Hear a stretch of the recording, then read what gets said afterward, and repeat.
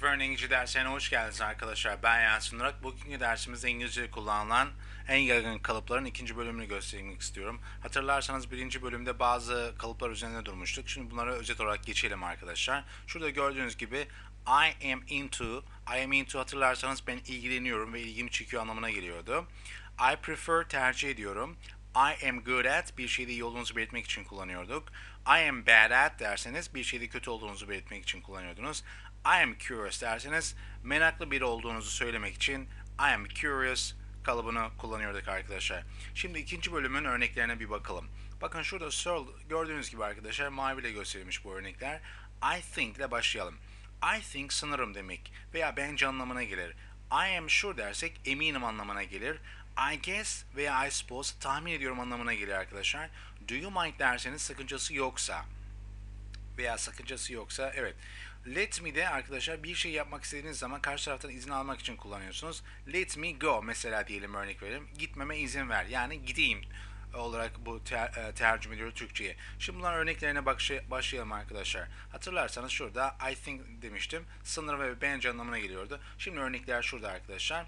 Bakın önce İngilizceleri var sonra Türkçeleri var. Ben İngilizcelerini söyleyeceğim. I think you are right. I think you are right. Bakın şuradaki kalıp I think'i ben burada maviyle yine tekrardan Türkçe'de gösterdim arkadaşlar ki eşleşsin diye. Sizin için de kolay olur. I think you are right. I think I can do it. I think she will marry me someday. I think she will marry me someday. I think she is somewhere here. I think she is somewhere here. Şimdi beraber tekrar edelim arkadaşlar. Benimle birlikte tekrar edin. I think you are right. I think I can do it. I think she will marry me someday. Buradaki she arkadaşlar bayanı temsil ediyor. I think she is somewhere here. Evet, ikinci kalıbımıza geçelim. I am sure. Açık olarak yazılımı bu şekilde arkadaşlar ve eminim anlamına geliyor. Kısaltma da şurada gördüğünüz gibi I'm. Burada açık yazarsanız I am. Kısaltması I'm. Başlayalım. I'm sure she will sign the contract. I'm sure they will be here soon. I I'm sure you will get a job.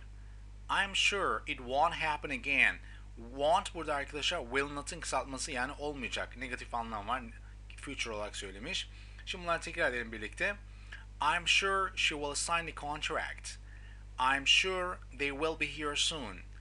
I'm sure you will get the job. I'm sure it won't happen again. Evet arkadaşlar üçüncü kalıbımıza geldik. I guess veya I suppose dersiniz tahmin ediyorum anlamına gelir. İkisini de kullanabilirsiniz farklı olarak. If you guess veya if you suppose derseniz aynı anlamda. If you guess correctly, if you guess correctly, you have another turn. Tekrar ediyorum. If you guess correctly, you have another turn. I guess or I suppose diyebilirsiniz. I guess your star sign is Sagittarius. I suppose your star sign is Sagittarius. I guess he will be back. I guess he will be back. I guess, I guess so, I suppose so. Yani arkadaşlar buradaki e, bu günlük kullanımı daha çok yaygın aslında. Öyle olduğunu tahmin ediyorum. I guess so. Emin olmamakla birlikte anlamına geliyor arkadaşlar. Şimdi bunları birlikte tekrar edelim. If you guess correctly, you have another turn. If uh, I guess your star sign is Sagittarius veya I suppose your star sign is Sagittarius. Star sign demek arkadaşlar burç demek. Your dediği için senin burcun anlamına geliyor. I guess he will be back. I guess so. I suppose so. Şimdi geçelim. Do you mind veya would you mind kalıbı var arkadaşlar. Sakıncası var mı? Do you mind? Would you mind? Bak başlayalım.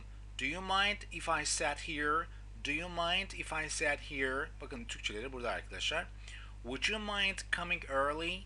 Would you mind coming early? Would you mind waiting outside? Would you mind? Bakın arkadaşlar şuradaki would kelimesi konuşmada çok hızlı olduğu için yani yaygın olduğu için would gibi çıkar. Yani buradaki D harfi sanki C varmış gibi söyleniyor. O yüzden burada would. Aslında would normalde ama biz e, yani İngilizce'de bunu bu şekilde kullanıyorlar. Would you mind waiting outside? Do you want me to carry this bag for you? Do you want me to carry this bag for you? Would you mind? sakıncası yoksa senin için bu çantayı burada iki yazmışım arkadaşlar. Senin içini burada senin içini bir tane olması lazım. Senin için sakıncası yoksa bu çantayı taşımamı ister misin anlamında. Do you mind if I paid? Ben ödesem olur mu? Do you mind if I paid? Yalnız burada tekrar ediyorum. Senin için iki kere iki kere yazılmış bir tane olması lazım. Tekrar edelim şimdi birlikte. Do you mind if I sat here? Veya would you mind de diyebilirsiniz fark etmez arkadaşlar. Do you mind if I sat here? Would you mind coming early? Would you mind waiting outside? Do you want me to carry this bag for you? Would you mind? Do you want do you want do you mind if I paid? Dikkat edin arkadaşlar bir şey söyleyeceğim burada. Bakın burada mind mind dan sonra fiil kullandık ya. Bakın burada hep ing geldi. Dikkat edin bu noktaya. Tamam mı? Ve hatta do you mind'da if kalıbı var. İkinci halini kullanıyorsunuz burada. Evet bir sonraki örneğimize geçelim arkadaşlar. Let me. Let me yapmama izin ver yani edeyim. Ama tabi buradan sonra fiilin yalın halini kullanıyoruz arkadaşlar. Tamam mı? Bilginiz olsun. Şimdi örneğimizi görelim. Şimdi let me normalde let, let, let me D gibi çıkabilir burada. Let me go. Let me go. Bakın dikkat edin. Let me go demedim. Let me go. Evet gitmeme izin ver anlamına geliyor arkadaşlar. Yani Türkçesi gideyim. Aslında Türkçesi gideyim olarak çevriliyor. Let me talk. Let me talk. Yani konuşayım. Veyahut da konuşmama izin ver anlamına gelir. İki anlamda kullanabilirsiniz. Let me tell you something. Sana bir şey söyleyeyim. Let me tell you something. Let me get in. Bir yerden içeri girmek istiyorsunuz ve içeri girmesi için izin istiyorsunuz. Girmeme izin ver. Yani içeri girmeme izin ver çünkü burada in kullanılmış. Let me get in. Let me get in. Let me call you now if you are available. Eğer müsaitsen seni şimdi arayayım. Let me call you now. Şimdi arayayım. If you are available. Eğer müsaitsen. Şimdi beraber tekrar edelim arkadaşlar. Let me go. Dikkat edin burada let me go. Sanki T yok da D varmış gibi söyleniyor arkadaşlar. Let me go. Let me talk. Let me tell you something. Let me tell you something. Let me get in. Let me get in. Let me call you now if you are available. Let me call you now if you are available. Evet arkadaşlar. Arkadaşlar pratik kısmına geldik. Burası arkadaşlar dersi bitirmeden önce son yaptığımız gözden geçirme oluyor. Şimdi burada bunları tekrar ediyoruz. I think, I am sure. Siz de tekrar edebilirsiniz. I think, I am sure. I guess, I suppose. Do you mind? Veya would you mind arkadaşlar vardı hatırlarsanız. Would you mind? Do you mind? Let me. Let me. Bunlar Türkçe yönetimini tekrar edelim. I think neydi? Sanırım veya bence. I am sure eminim. I guess veya I suppose öyle olduğunu ta- tahmin ediyorum sadece. Tahmin ediyorum anlamlarına geliyordu.